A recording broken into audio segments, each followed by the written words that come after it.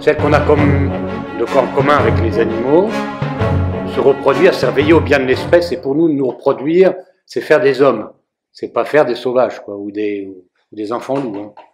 Donc ça dure longtemps, et à partir de là, c'est là-dessus que saint Thomas s'appuie pour dire le mariage doit être indissoluble. Donc on se reproduit, d'accord, il y a un côté animal, mais il y a surtout un côté humain. Et puis, ce qu'on a en propre, et pour saint Thomas, c'est quoi? C'est chercher la vérité. Et vivre en société. C'est les deux éléments qui met. La recherche de la vérité et la dimension politique de l'homme sont ce qui le distingue des animaux. Et ça, bon, Aristote l'avait déjà dit, la, doctrine sociale de l'Église le répète, hein, c'est par le langage justement qu'il arrive à, à communiquer avec les autres pour dire ce qui est juste et pour chercher ce qui est vrai. Donc c'est une très grande profondeur, vous voyez, c'est le fait que... Voilà. Donc vous voyez, cette description, elle part du réel. Hein. Qu'est-ce qui permet à mon essence dynamique, à ma nature, d'arriver au fond à, devenir ce qu'elle est Parce que il y a un donné de départ, mais après il faut le cultiver. Hein. c'est comme le germe de, la plante, il faut arroser la plante pour qu'elle arrive à sa stature complète. Hein. Donc à la fois il y a un donné, mais en même temps ce donné doit être cultivé. C'est de là que vient la culture, éducation, culture, politique, pour arriver à ce qui est visé par la nature. Le but de la naissance, c'est de faire des hommes. Pas, pas des veaux, pas des, pas des brutes, pas des. Voilà. Des hommes qui vivent en société, qui cherchent la vérité, spécialement sur Dieu. Alors remarque là donc pour ce premier paragraphe, hein, euh, on ne peut pas faire l'économie de Dieu. comme disait hier la conférencière, on n'est pas obligé d'en parler toutes les cinq minutes, c'est sûr. Hein. mais euh, mais euh, on ne peut pas, si vous voulez, dire ça n'existe pas dans l'ordre naturel. À toi, tu as la foi, moi je l'ai pas, c'est une question surnaturelle. Alors la foi surnaturelle, on va en parler. Mais le fait de reconnaître qu'il y a un créateur du monde, ça c'est une question naturelle. Et c'est même la base, une des bases de la loi naturelle. Dans, le décalogue dont on va parler, hein, il y a deux tables. La première concerne les devoirs envers Dieu. Et le fait que l'intelligence humaine, par sa raison, atteint le fait que le monde ne s'est pas fait tout seul, qui a un mystère à l'origine, qui a toutes les perfections du monde en beaucoup mieux aucune des imperfections, ça, la raison arrive à le démontrer. Moi, ça, je vous en parle d'autant plus de, conviction que j'ai été athée pendant cinq ans. Hein, j'ai rejeté la foi, ce que je vous conseille pas de faire. J'ai exploré le chemin. Si vous ne l'avez pas, priez pour l'avoir, hein, parce que. Mais en tout cas, j'ai exploré, euh, j'espère euh, raisonnablement, quoi, le chemin. Et puis j'ai étudié différentes religions, bouddhisme, islam, Protestantisme, ça a été assez vite fait parce que je me suis dit, si Dieu existe, ça c'est sûrement faux. Bon, j'aime beaucoup les protestants, mais j'aime pas le protestantisme. Orthodoxie, ça c'est beaucoup plus intéressant. Et bon, euh, là, et puis au bout du compte, je me suis dit, bon, il n'y a pas photo. Si Dieu existe, c'est le catholicisme qui est vrai, quoi. Et la grâce de Dieu m'a ramené à la religion de mon baptême et de mon enfance. Et, j'ai retrouvé ma vocation, c'est pour ça que je suis là. Voilà. Bon. Mais c'est pour vous dire que euh, voilà, ce que j'attendais, c'était des gars, des cathos, qui n'aient pas peur de la raison et qui me disent que j'étais, j'ai fait deux ans dans une école de père de la Compagnie de Jésus. Quand je suis rentré en 67, j'étais athée, agnostique, on était une bonne demi-douzaine. On se disait, les jésuites, c'est des intellos, ils vont nous prouver l'existence de Dieu. Moi, je me disais, flûte, si on prouve l'existence de Dieu, boum, je me retourne comme une crêpe et il faut que j'aille à la messe, quoi. Et que je pratique la morale, gna gna, tous les trucs des cathos, quoi. Alors, j'étais prêt à le faire, mais je me disais, bon, voilà. Et puis, en fait, non, enfin, je dis ça avec affection vis-à-vis de mes maîtres, j'ai pas trouvé tout à fait ces gens-là. Ils étaient préoccupés, disons certains, pour nous parler des méfaits de la colonisation et d'autres les avantages de la technocratie. Mettez votre développement humain entre parenthèses pendant deux ans et intégrez une grande école. Alors bon, ça a été un choc, hein, mais je dis ça avec vénération parce que j'étais insupportable, donc euh, sans doute j'avais beaucoup de tort que je ne vois que maintenant, mais peut-être s'ils avaient un peu accéléré, j'aurais retrouvé la foi plus vite. Quoi. Parce qu'en fait, les gens s'intéressent, hein, même un athée, un agnostique, il y a un grand nombre de gens qui n'ont pas la foi, ou qui même ont doute sur l'existence de Dieu, et qui sont passionnés par ces sujets-là. Donc n'ayons pas peur de les aborder, et surtout rappelons-nous que c'est pas euh, pas quelque chose qui est en dehors de la nature, vous voyez. Ce qui est en dehors de la nature, enfin, oui, Dieu n'est pas évident, mais il est certain. Je le rappelle parce que pour beaucoup de musulmans, enfin, pas que les positions sont variées, eh Dieu, mais que tu vois pas le soleil, lui, eh, il y a un ordre dans le monde, alors tu crois pas Mohammed? Alors bon, il y a un saut logique évidemment entre l'ordre naturel et puis Mohammed. Hein, bon. Et dans le Coran, c'est bourré de passages comme ça. Mais donc là, leur tort, c'est de dire c'est évident. C'est pas évident. C'est pour ça que pour eux, comme un, jour j'ai entendu dire, bon, tu sais, un athée, c'est un peu moins qu'un chien. Bon. Je vous signale, c'est pas tout à fait vrai. Hein. Un athée n'est pas un chien, ni même moins qu'un chien. Mais évidemment, pour un gars qui dit Dieu est évident, si tu nies Dieu, t'es même pas un homme, quoi. Faut vous tâcher de comprendre ça. Bon, ça c'est faux. Hein. c'est souvent réfuté par saint Thomas et puis par le bon sens d'une certaine façon. Par contre, c'est certain. L'existence de Dieu est métaphysiquement certaine. C'est pour ça que j'ai fait cette thèse euh, laborieusement. Euh, un âge déjà avancé, justement sur la. Est-ce qu'il y a moyen de, saisir la réalité de telle sorte qu'elle nous renvoie à Dieu. C'est passionnant. Et de fait, oui. J'ai vérifié, les gars, ça renvoie à Dieu. Faites, votre chemin parce que chacun a son chemin. Mais bon, si vous ne croyez pas que Dieu existe, eh ben, faites la prière de Charles de Foucault. Hein. Rentrez dans une église, déjà vous risquez d'être un peu irradié dans l'église, c'est déjà. là, vous êtes déjà gonflé, quoi. Et puis parce qu'on n'en sort pas un dame, et puis dites, mon Dieu, si vous, existez, daignez me le faire connaître, quoi. Et voilà, il faut respecter les gars qui cherchent et il faut les aider. Quoi. Euh, donc, premier devoir, c'est euh, chercher Dieu. Hein, et parce que ça, c'est voilà. Évidemment, si je ne suis pas certain de l'existence d'un Dieu, je peux quand même avoir un sens moral. Hein. Mais on va le dire, euh, le fondement ultime, c'est quand même, c'est quand même Dieu qui donne son, son appui ultime, si vous voulez, à la moralité. Mais on peut être, on peut être moral sans adhérer formellement à l'existence de Dieu. Attention. Hein. Bien sûr, il y a Dostoïevski qui dit si Dieu n'existe pas, tout est permis. Euh, oui, enfin doucement, quoi. Je veux dire, ça c'est un truc de russe, quoi. J'aime beaucoup les Russes, hein, c'est l'hyperbole orientale. Hein. Enfin, on comprend ce qu'il veut dire, hein, c'est que c'est plus facile de faire n'importe quoi, mais vous rencontrerez beaucoup. Moi, j'en ai rencontré en 40 ans de sacerdoce, des gens d'une honnêteté, d'une rigueur, d'une serviabilité, d'une solidarité incroyable, qui doutaient de l'existence de Dieu. Ils avaient, en fait, à mon avis, ils y croyaient, c'est un sens moral, si vous voulez, qui ne s'explique que par un absolu qui est Dieu. Voilà, mais ils n'allaient pas jusqu'au bout. Bon. Alors maintenant, il y a la grâce ensuite. Ça, c'est la nature. Hein. Natural, ce qui naît, ce qui pousse, hein, physis, hein, donner la physique. Et chez nous, ce qui pousse, c'est un être bizarre, hein, qui est à, l'horizon, hein, comme disent les anciens, l'homme est à, l'horizon du monde des corps et du monde des esprits. Et comme disait Pascal, il n'est ni un ange ni une bête. Celui qui veut faire l'ange fait la bête. Et celui qui veut faire que la bête, il va pas loin. Voilà. Il fait semblant de faire la bête parce qu'il utilise son intelligence pour être méchant. Donc euh, c'est un, coyote en plus. Il n'est pas dans la bonne voie. Enfin, un coyote à foi jaune, je dis ça pour les gens qui ont, qui ont lu Lucky Luke ou, euh, les trucs anciens, là, où il y a ce genre d'expression. Voilà. Euh, bon, maintenant, alors il y a une nature, hein, donc, mais très important. Et ça, c'est une base. Et, le fondement, enfin, mon avis, un des principes essentiels de la réflexion chrétienne, c'est que la grâce n'enlève pas la nature, mais qu'elle va lui donner une perfection au-dessus, et en plus, elle va la soigner. Mais c'est très très important. C'est que quand moi je le dis souvent, euh, quand j'ai des auditoires de, votre âge ou comme ça, je leur dis écoutez, la foi, c'est pas se shooter, hein, parce que vous avez plus votre dose de LSD ou de bidule ou de crack sous la main. Euh, donc pour me sortir un peu de mes soucis, je me shoote, j'ai la foi je fais une louange et ça me shoot et ça va mieux, quoi. Euh, bon, si ça va mieux, tant mieux, je suis pas contre hein, que ça fasse du bien la fois. Hein. La preuve, vous êtes assez détendu, quoi. J'ai vu ça hier soir, voilà.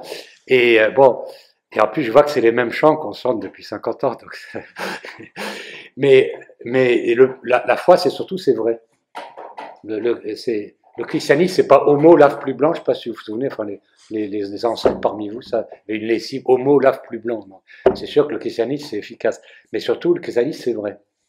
Et donc la foi, c'est pas sortir du réel, c'est d'aller dans le réel, jusqu'au fond du réel, qui est Dieu, la Trinité et le Christ. Et donc je vais mieux voir les hommes parce que je serai à l'intérieur du réel. C'est pas un truc, le catho, c'est pas un mec évaporé avec une charité gélatineuse et euh, peace and love. Euh, tout le monde va au ciel, machin bidule. Hein. Ça, c'est une caricature. Et malheureusement, c'est souvent ce que vous avez rencontré. Enfin, moi, je commençais déjà à le rencontrer, je suis parti vite fait, quoi. Mais je veux dire, il y en a encore qui partent aujourd'hui à cause de ça. Quand ils voient des cathos, je dirais, un peu plus euh, cohérents, quoi. Voilà, pas brutaux, mais virils. Hein. Euh, il y a un, article sur la virilité là-dedans. Euh, pour, le, les, pour les garçons. Mais pour les filles, vous savez, il y a, Sainte Thérèse d'Avila qui disait assez religieux, parce que la force est nécessaire à tout le monde. Seáis hombres, hijas, soyez des hommes, mes filles. Seáis hombres. hombre en espagnol, c'est. Enfin, on a, besoin de, on a besoin de la force. Lisez le, le testament, on peut dire, de, de Noix de Saint-Maur, euh, ce qu'il faut dire à un jeune de 20 ans, ça se termine par un appel au courage. C'est vrai qu'on a besoin du courage. Alors maintenant, la grâce qui élève, alors c'est pas quelque chose qui gomme ce qu'on a dit, au contraire. Vous remarquerez d'ailleurs que le Christ arrive à un moment de relatif équilibre politique, euh, de grande, d'une certaine euh, force spirituelle. Enfin, les, Juifs avaient des, groupes, les Anawim, les pharisiens et d'autres, qui étaient quand même assez performants, assez bons religieusement, et d'une grande force culturelle, puisque l'hellénisme avait, depuis l'Inde jusqu'à Gibraltar, si vous voulez, le, la pensée grecque par les Romains s'était répandue partout. Donc, la langue véhiculaire, c'était le grec de la Koiné, hein, dans lequel ont été écrits les, les évangiles. Et puis l'ordre romain. Donc, vous voyez, ces éléments ne sont pas par hasard tout à fait. Ça, c'est des éléments d'ordre naturel, enfin, en quelque sorte. La religiosité aussi. Hein. Euh, la, Bible, c'est une, vraiment un, un, poème religieux d'une grande richesse, je dirais même, naturellement parlant. Donc le Christ arrive à ce moment-là, il ne va pas démolir tout ça, mais il va l'élever à quelque chose de plus intéressant encore. J'ai appelé ça une belle aventure. Devenir fils de Dieu, une belle aventure. Alors le mot grâce, donc on va partir du mot encore.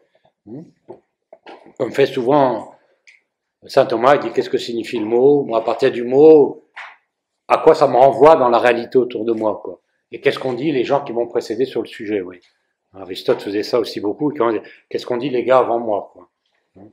D'ailleurs, on fait la même chose dans, pas mal de domaines, même scientifiques. Hein. Quel est l'état de la question euh, dans telle discipline dans laquelle je veux essayer d'apporter du nouveau? Bon. Alors, le mot a aussi deux, deux facettes, si vous voulez, qui se recoupent, hein, comme souvent.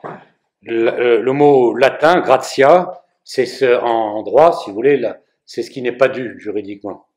C'est un bienfait donné par le prince qui, euh, un gars est condamné à mort, et eh ben il y a dans les, les prérogatives régaliennes euh, qui existent encore, je crois, le, le droit de, de, de, de, gracier, soit on commue la peine, soit on gracie. C'est pas dû, si vous voulez. Hein. Donc ça c'est une étymologie importante. Et puis en grec, charis, charis, si vous voulez, ça veut dire euh, ce qui est beau. C'est à la fois, c'est gracieux, si vous voulez. Hein, comme on dit, voilà, il y a une danseuse qui est gracieuse, ou il y a voilà, la, grâce de l'adolescence, ou que sais-je, vous. Bon. Euh, voilà, donc, euh, mais en même temps, c'est gracieux parce que c'est pas. Euh, au fond, on s'aperçoit ce qui est beau, c'est ce qui est un peu, un peu inutile, quoi. C'est pas, pas pour faire du chiffre, enfin, vous voyez. C'est, voilà. Donc euh, c'est très joli le mot grâce, hein, ça évoque beaucoup de choses. Hein. Alors on peut dire, voilà, si on prend le mot, donc c'est ce qui n'est pas obligé, si vous voulez. Hein. En droit, une remise gracieuse, bon, c'est en dehors des voies contentieuses. Voilà. Mais euh, ce qui est intéressant, c'est que dans un sens large, on a parlé de Dieu, mais vous remarquerez qu'il n'y a pas que Dieu. D'ailleurs, on ne voit pas, pas visible au sens, mais il y a nous, il y a la création. Alors, est-ce que la création, avec sa beauté, est une grâce de Dieu? Alors, on peut dire ça dans un sens large, vous voyez. Oui, on peut dire, euh, la création est un langage par lequel Dieu nous parle et il n'était pas obligé de créer. Hein, L'Église a bien rappelé ça au Concile Vatican I. Je crois que c'est rappelé dans le catéchisme de l'Église catholique. Hein, Dieu a fait les choses librement pour qu'elles soient heureuses parce que lui, de toute façon, il reste toujours aussi heureux. Mais on peut dire, bon, ben voilà, on peut appeler ça quelque chose de. Voilà, la première grâce, la grâce de la création, parce que c'est gratuit. Mais une fois qu'il fait la création, très important, Dieu, je dirais, euh, comment dire Dieu est sage, vous voyez. Donc il fait pas, j'allais dire des gros mots, mais je les dis pas parce qu'il y a des gens bien éduqués, puis on n'est pas au café caté. Hein. C'est pas le désordre, Il y a une stabilité. Il y a des choses, quand il fait des êtres, eh ben, il fait que leur nature fonctionne avec des lois et des propriétés stables. Sauf s'il fait un miracle, on va en parler. Mais vous voyez, il n'y a pas des miracles tout le temps. Mais c'est extrêmement important ça. C'est-à-dire qu'une fois que la nature est faite, la sagesse de Dieu euh, a pour conséquence qu'il donne à tous les, les, éléments de cette nature et à l'ensemble des lois stables et de quoi subsister et se développer pour atteindre leur propre épanouissement et l'ordre de l'ensemble, hein, qui chante la gloire de Dieu. C'est ça le, ce qu'Aristote avait déjà vu. Hein. Le but du monde, c'est qu'il y ait justement un ordre qui manifeste quelque chose du, mystère de Dieu. Bon. Mais vous voyez, quand il a fait, alors ça, j'insiste là-dessus parce que on peut dire que nous, les, les, les, musulmans, euh, moi je m'occupe un peu d'apostolat de musulmans convertis, donc je me suis un peu replongé là-dedans. Et c'est vrai que une des dimensions qui souligne beaucoup, c'est la puissance. Vous voyez, Dieu est puissant.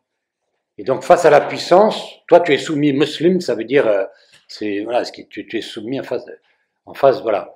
Alors, c'est vrai que Dieu est puissant, parce que pour beaucoup de cathos, surtout progressistes, Dieu n'est pas, pas tout puissant, quoi. C'est le premier article du credo, mais ça leur fait mal, je sais pas, ils n'aiment pas dire que Dieu est tout puissant. Et c'est, c'est faux. Dieu est tout puissant. Mais en même temps, il est sage. Il est amour. Ça, amour, on le rappelle quand même un peu. Mais il y a les trois éléments. Et donc, Dieu fait un monde qui manifeste sa puissance, sa sagesse et son amour, surtout avec le Christ et la révélation. Mais c'est très important de rappeler l'élément de sagesse. Hein.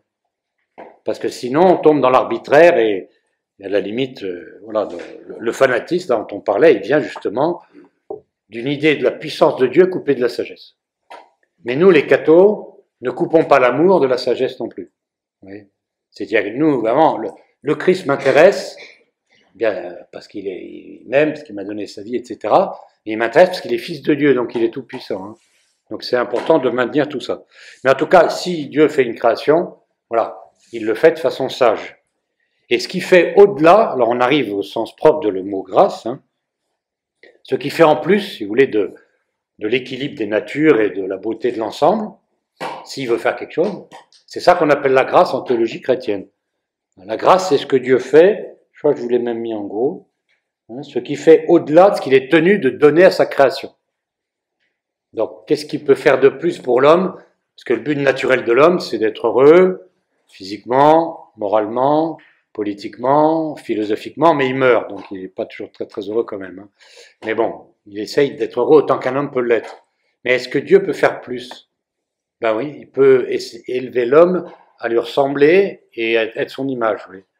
Et à lui donner quelque chose qu'on appelle la filiation divine, c'est-à-dire sortir en quelque sorte de ce cosmos qui est pourtant merveilleux et très intéressant, Hein, si j'étais pas prête, j'aurais passé ma vie à le, à le scruter, quoi, parce que plus on étudie, plus on s'aperçoit qu'il y a encore ce qu'on ignore est encore plus vaste que ce qu'on connaît.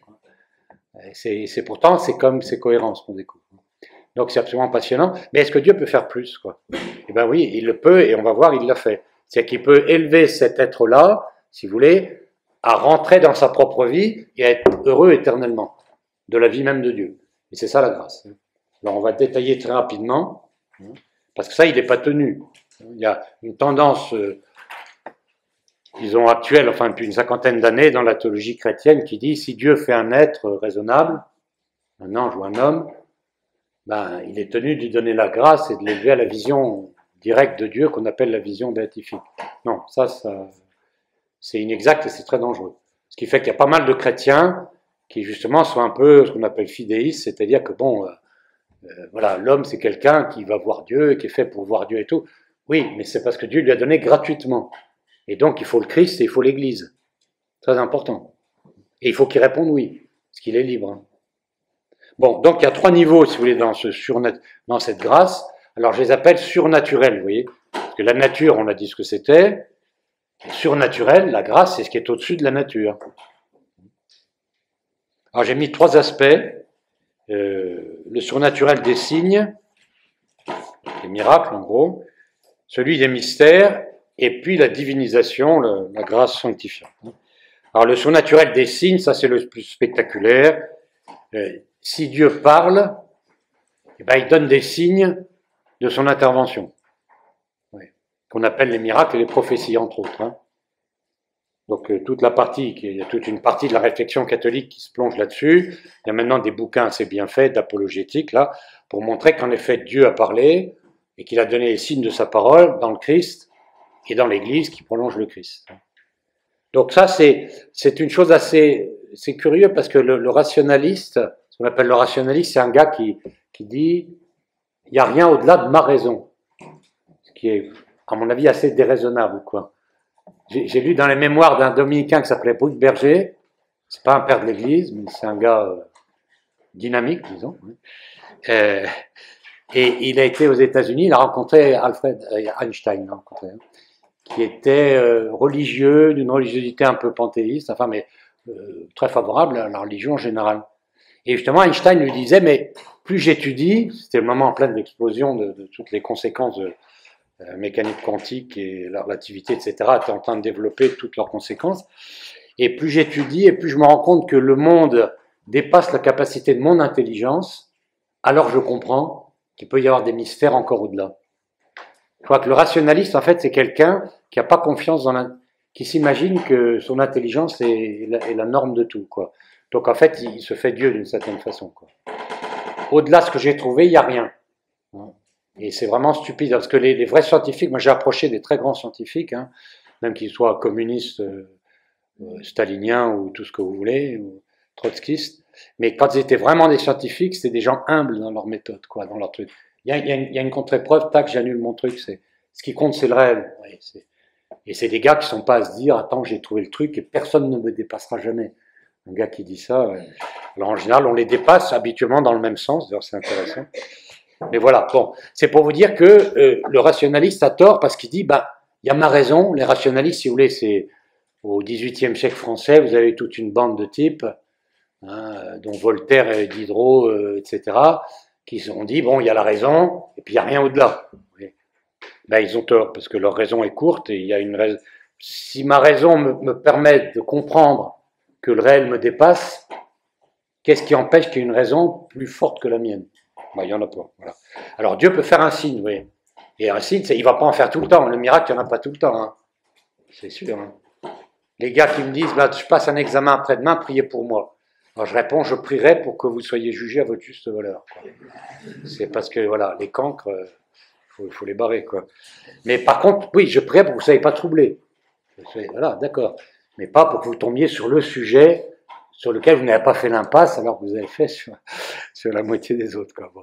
Donc, si vous voulez, les miracles, il n'y en a pas tout le temps, grâce à Dieu, parce que ce serait, c'est sympa, les miracles, ça maintient l'ambiance, je ne suis pas du tout contre. Hein, moi. Je m'occupe de musulmans convertis, je suis assez catho, donc je suis assez pour les miracles aussi, mais c'est pas ma spécialité, si vous voulez, pas mon, rayon, euh, miracle et tout, quoique je suis au contact maintenant, presque, je dirais, euh, mensuellement, par aux musulmans convertis qui très souvent ont des locutions, des paroles, des, des rêves et tout, très intéressant d'ailleurs. Mais ils font pas de la pub à nous casser les pieds là-dessus. Euh, venez en pèlerinage sur le lieu de, mon rêve, parce que comme euh, il n'y a pas de missionnaires qui les atteignent là où ils sont, eh ben, le bon Dieu vient les chercher eux-mêmes. Donc il y a des miracles, soit individuels et portatifs, hein, soit plus visibles comme à Fatima ou à Lourdes, bien sûr.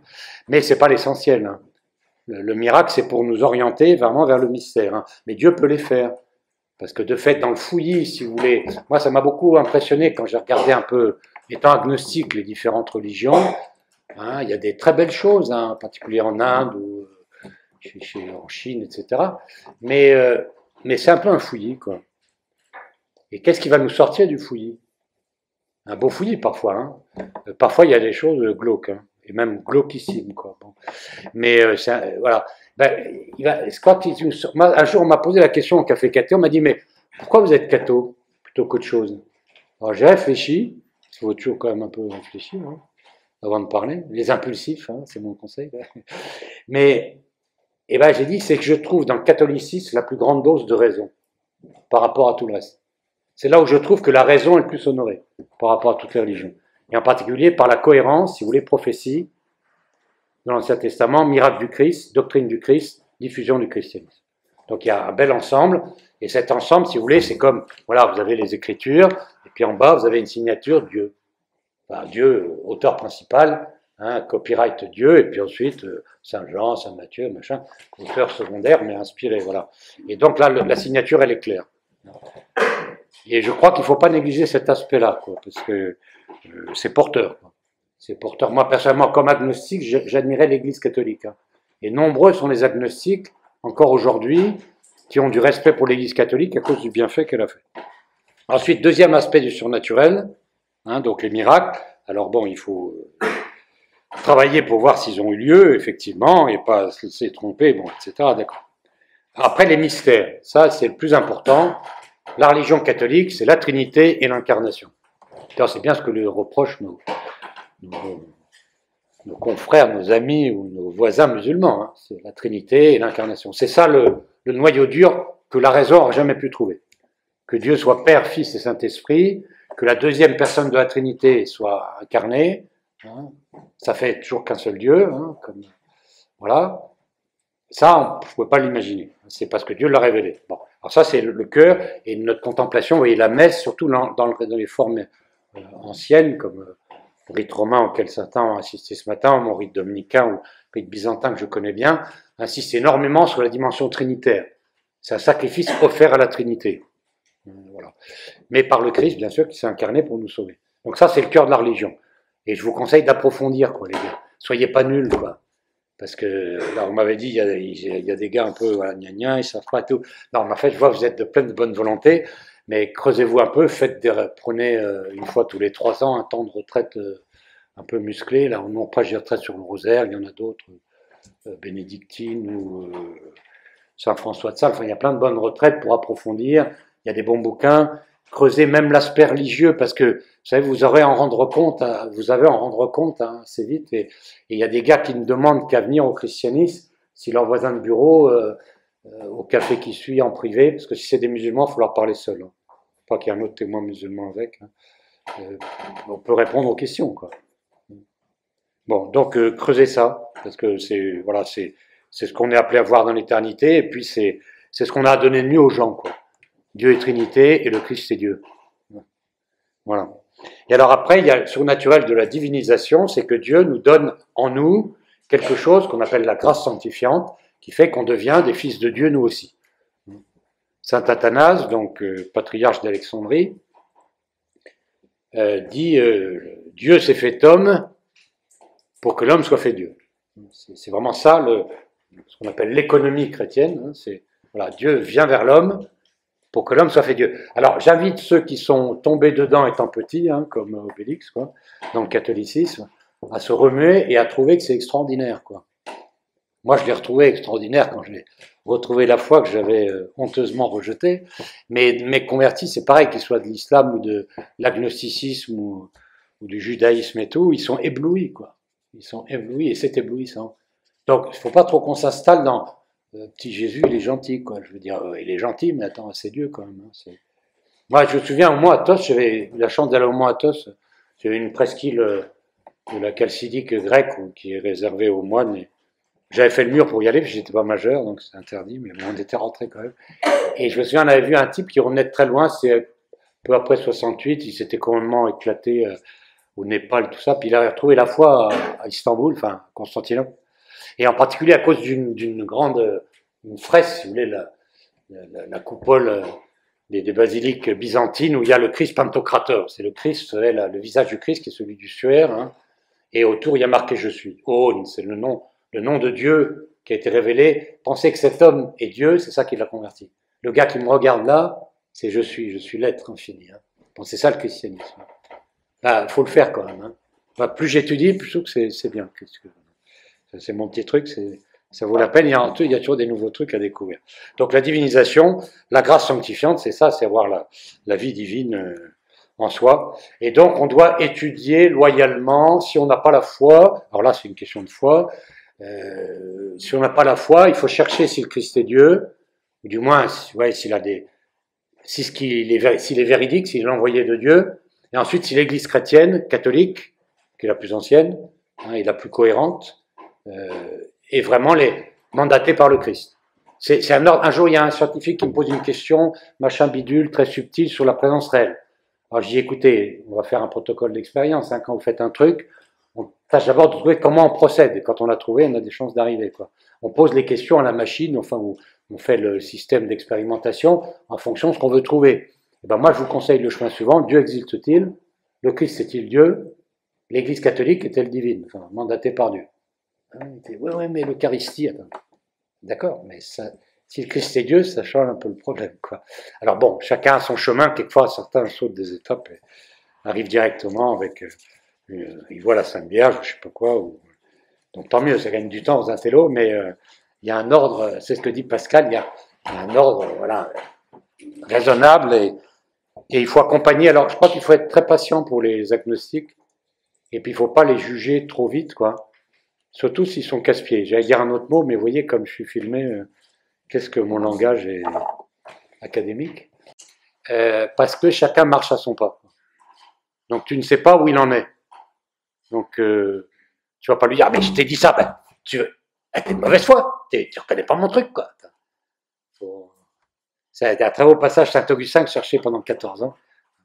Marche dans la lumière que tu possèdes, vers la lumière que tu désires. C'est magnifique ça. Et nous, on doit aider, nous on n'est que des accoucheurs, hein, comme Socrate. Hein, voilà. Bon, alors maintenant, euh, on a dit tout ça. Maintenant, il y a un aspect important pour vous qui êtes des agitateurs, enfin pas des agitateurs politiques, mais des, gens intéressés par la chose publique, ce qui est excellent. Vous avez compris, vous devinez que le bien commun est plus divin que le bien d'un seul, comme dit Aristote, et comme le répète saint Thomas d'Aquin, et l'enseignement de l'Église, oui, substantiellement après lui. Euh, donc vous vous intéressez à tout ça. Alors il y a un aspect très important, cette grâce qui nous élève comme fils de Dieu, elle soigne le péché originel. La grâce qui élève, la grâce qui soigne. Et je crois que c'est l'impact politique de cette grâce qui soigne qui doit être souligné maintenant. Hein. Alors on a vu les grandes lignes, on a parlé des grandes lignes de la loi naturelle, hein, se conserver dans l'être, instinct de conservation avec tous les droits que ça comporte et les devoirs, hein. euh, se reproduire, donc faire qu'il y ait d'autres humains éduqués comme des humains qui continuent, vivre en société et chercher la vérité sur Dieu en particulier. Et ben ça, c'est comme je vous l'ai dit, c'est pas euh, l'impératif catégorique d'Emmanuel Kant. Hein. C'est tout seul, tu dois.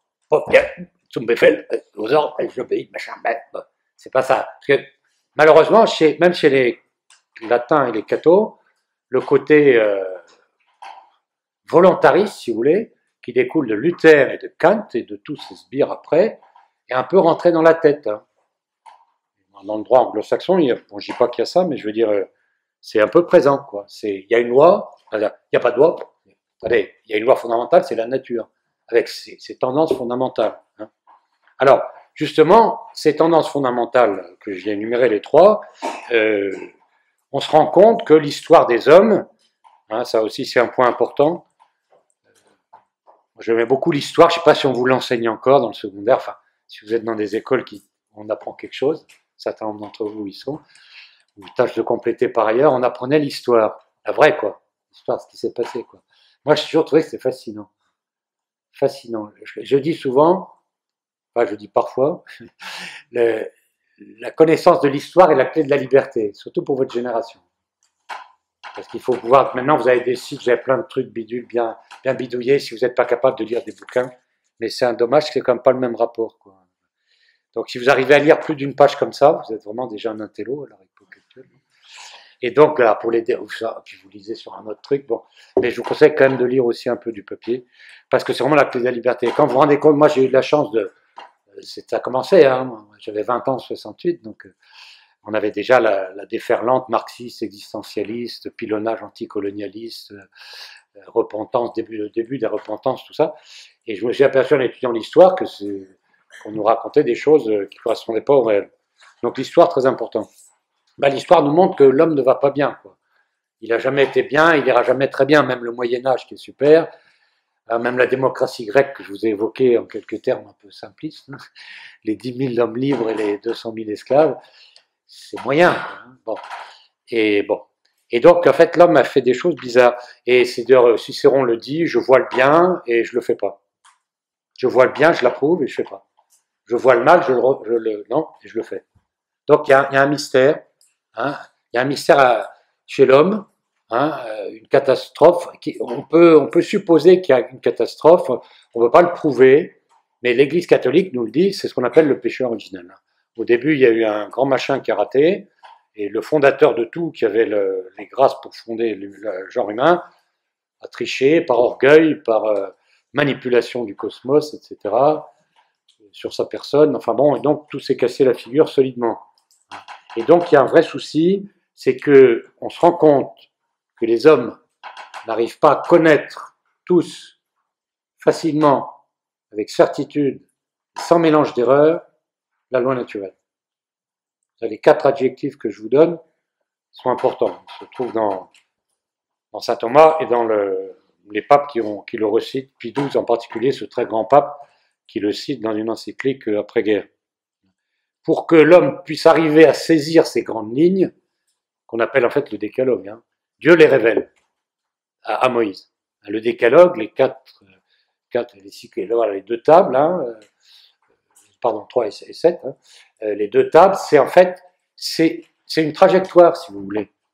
Hein, c'est comme x égale 1 demi de GT2 ou égale MC2, c'est un truc, c'est une réalité, si vous voulez. C'est pas gna gna gna, tu gna gna, tu C'est ça aussi, il faut, faut pas faire ce qui est défendu. Bon, d'accord, mais c'est pas l'aspect le plus emballant. Je préfère dire, écoutez, ce truc-là, c'est l'équation de votre bonheur. Si tu appliques les dix commandements, tu seras moins malheureux que si tu les appliques pas, même si tu en baves, hein. même si tu souffres pour la justice. Ça, Socrate l'avait déjà vu, mais c'est confirmé, si vous voulez. Hein. Parce que, en fait, l'homme cherche son bonheur, et son bonheur, il est écrit dans sa nature, et donc la loi naturelle des traduit ça. Et donc Dieu l'a révélé justement pour que euh, pour que on arrive à y voir clair, si vous voulez. Et actuellement, c'est très, je, suis frappé, surtout avec toutes les lois depuis depuis la loi Veil. Moi, je faisais partie des, des chahuteurs anti-loi Veil avant qu'elle passe. Hein. Et euh, bon, mais on continue, il faut continuer à se battre. Hein. Mais je suis frappé de l'accélération. En fait, il y a vraiment, non seulement le, c'est le décalogue lui-même qui finit par être mis en cause, en particulier tu ne tueras pas, l'innocent, hein, dans aucun cas ne doit être mis à mort, hein, de façon volontaire et directe. Mais après, il y a, voilà, toutes les, les, conséquences prochaines, lointaines et tout, sont ébranlées, et donc voilà, Dieu a révélé ça pour aider les gens. Et en plus, il leur donne la grâce pour euh, l'observer. Parce qu'un type honnête, vous en connaissez, mais qui n'est pas en état de grâce, il ne peut pas observer toute la loi tout le temps. Un gars en état de péché mortel, il retombe dans un autre péché mortel au bout d'un certain temps. C'est comme ça. Ça, c'est ce que dit saint Thomas. Mais mes 40 ans de sacerdoce me confirment que ça roule comme ça. Donc, euh, gardons la grâce et si on tombe, confessons-nous rapidement. Ajoutez pas les péchés les uns les autres parce que vous devenez de pire en pire. Mais donc Dieu donne non seulement révèle ce qui est la loi naturelle, qui est en fait l'équation du bonheur de l'homme individuel et politique, mais également il donne la grâce pour l'observer. Et ce qu'on constate euh, aussi, c'est que euh, il y a une vérification historique de cette vérité. Alors ça, j'y tiens beaucoup, parce que, comme je vous ai dit, même agnostique, j'admirais l'Église. Et je me dis, si Dieu existe, je serais catho. Enfin, je, je, serais à nouveau catho. voilà, pourquoi? Bah, Parce que moi, je trouvais que l'Église, j'ai toujours trouvé que c'était bien. C'est à peu près le contraire de toutes les attaques délirantes contre le, contre l'Église et les prêtres qu'on voit à différentes périodes de l'Église, hein, mais de, l'histoire des hommes, et aujourd'hui en particulier, quand on regarde d'un peu près, ça tient parfaitement la route. Moi, j'étais frappé en particulier, si vous voulez, du côté euh, philosophique. Hein. C'est quand même grâce à, des grands penseurs chrétiens, Saint Albert le Grand, enfin Saint Anselme, Saint Albert le Grand, Saint Thomas d'Aquin, que la raison a pris son envol, quoi, au XIIe, XIIIe siècle et en particulier la science moderne dans tout ce qu'elle a de bon, elle a une bonne part de bon, la science, oui, moi ce que je connais plutôt l'aspect spéculatif, hein. euh, elle sort de là aussi, hein, le démarrage, je vous ai, fait allusion à la cosmologie que j'étudiais comme étudiant, à côté de Paris à Orsay, dans une bonne fac, hein. euh, bonne fac au point de vue du niveau intellectuel, eh bien c'est Georges Lemaître, un prêtre euh, belge, hein, qui a été le premier initiateur de l'idée du Big Bang et qui tient encore la route aujourd'hui peaufinant un peu. Bon, donc c'est pour vous dire que moi j'admirais beaucoup, l'impact philosophique du christianisme et, son impact aussi, euh, je dirais, culturel, en particulier la position de la femme. Hein, si vous roulez un peu votre bosse dans le monde, euh, vous regardez le modèle qui est réservé à la femme dans les sociétés vraiment islamisées ou post-islamisées, etc., euh, maintenant qui se, se réislamisent partiellement et tout, bon, ou bien le, celle dans les sociétés, euh, dans d'autres sociétés non islamiques et non chrétiennes, on s'aperçoit que l'endroit où la femme est le mieux, c'est comme le christianisme. Parce qu'il lui est rendu le plus de ce qui lui est dû. Et c'est pas un hasard si, dans la personne la plus élevée, c'est. Euh, oui, j'ai le chrono dans la tête. C'est parce que, bon, la première personne créée, c'est quand même une femme, c'est la Sainte Vierge. Donc la position de la femme, ça me plaisait bien. Et puis l'art, enfin le, grégorien, le chant byzantin, les, primitifs, enfin voilà, tout. Voilà, j'aimais bien tout ça. Et surtout, je trouvais que le reste faisait pas, ils n'avaient pas photo quoi. Henri Bergson a fait une étude comparée des mystiques. Ça, je l'ai découvert qu'après, dans lequel il compare les différents types de mystiques. Et euh, Bergson est un, juif. Euh, il était juif personnellement, il est mort tout près du catholicisme, c'est comme un grand penseur qui a contribué à faire sortir du matérialisme toute une génération. un jour c'était Henri Massis qui disait à Pacelli, euh, nous a sortis du matérialisme, nous a attirés vers le spiritualisme, et Charles Maurras nous a fait passer de Bergson à, saint Thomas d'Aquin. Enfin, un certain nombre de gens, pas tous, mais je dis ça sans faire de l'hyperpude pour Maurras, pour lequel je ne suis pas un inconditionnel, tout en lui tirant le chapeau que je dois lui tirer dans la mesure où je dois lui tirer, pas plus. Mais ceci dit, ouais, ce que j'appelle les passeurs de vérité. Bergson est un passeur de vérité. Mon grand-père l'avait bien connu. Enfin, bon, oui, je suis un gars, je, suis l'homme qui a vu l'homme qui a vu l'ours, quoi. Donc, euh, c'est quand même sympa, on a vu ces gens-là et ils ont été aidés. Et Bergson disait, bah, si on compare les mystiques, s'il y a une mystique qui est vraie, c'est la mystique catholique. Pourquoi? Parce que le mystique, arrivé au terme de son chemin, il est ouvert aux autres et il pense aux autres à les sauver. Les œuvres de miséricorde corporelle, spirituelle, au moment où Thérèse d'Avila est arrivée aux, fiançailles et au mariage spirituel, dernier degré de son, chemin, c'est là où elle a fondé plus de couvents pour aider les gens à droite à gauche. Bon, Mère Teresa, c'est aussi quelque chose comme ça. La différence sur le, mystique euh, naturel, disons, qu'on peut trouver dans le bouddhisme ou ailleurs, qui est une mystique fermée de l'évasion. Donc ça, c'est quand même extrêmement intéressant. Hein. Il y a beaucoup plus de gens qu'on ne pense qui le reconnaissent. Hein, ça. Donc voilà, il y a des signes. Ce que je constate historiquement, c'est que malgré tous les péchés des hommes, les nations, les cultures, les régions qui ont reçu l'influence du christianisme, spécialement catholique, euh, eh bien, ont produit des bienfaits de civilisation, de morale, etc., considérables qu'aucune autre n'a produit.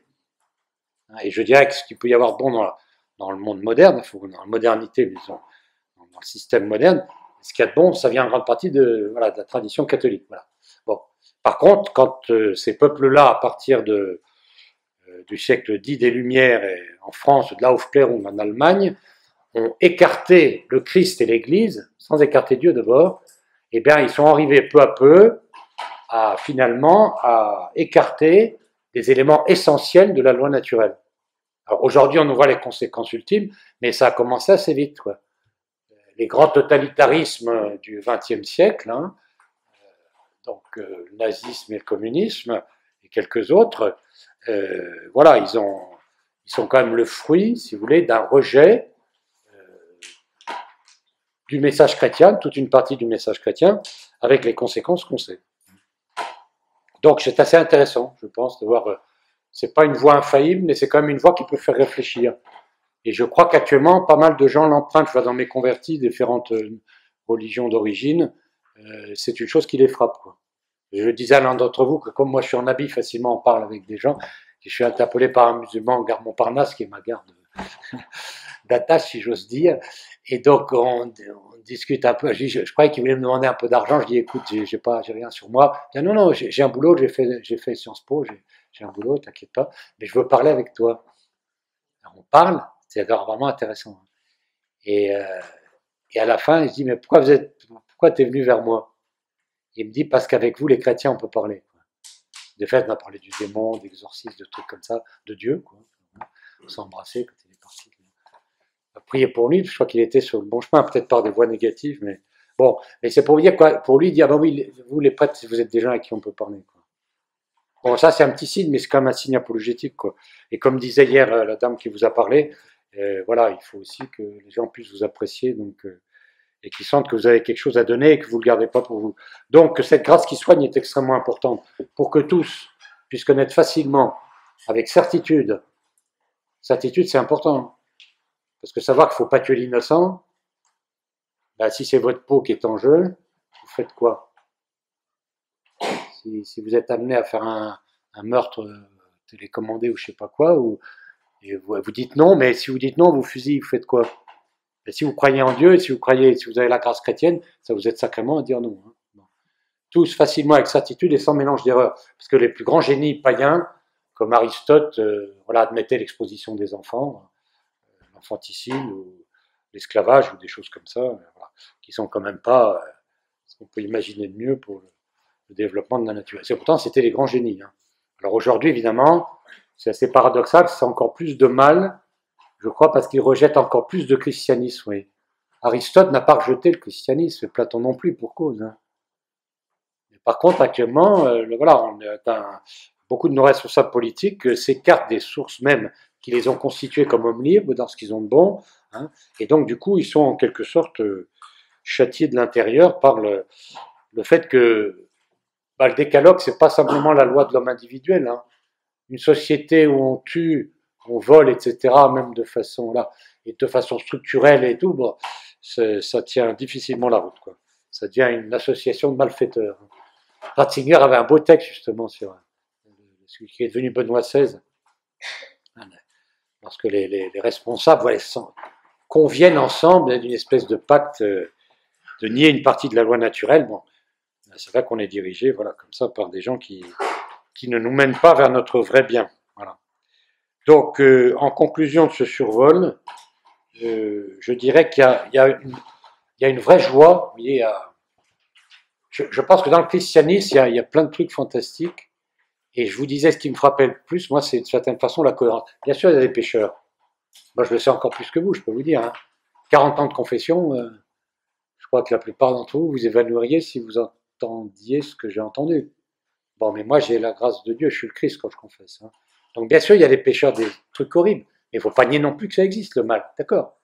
Mais euh, quand même, le christianisme tient la route et euh, les bienfaits qu'il donne, sa cohérence entre l'ordre naturel, l'ordre surnaturel, les bienfaits temporels, et puis comparons ce qui est comparable, si vous comparez les élites, si vous voulez, les gens qui prennent vraiment le christianisme au sérieux, et les gens prennent vraiment au sérieux leur propre religion différente. Et bien là, vous regardez à nouveau, il n'y a pas photo à mon avis. Hein.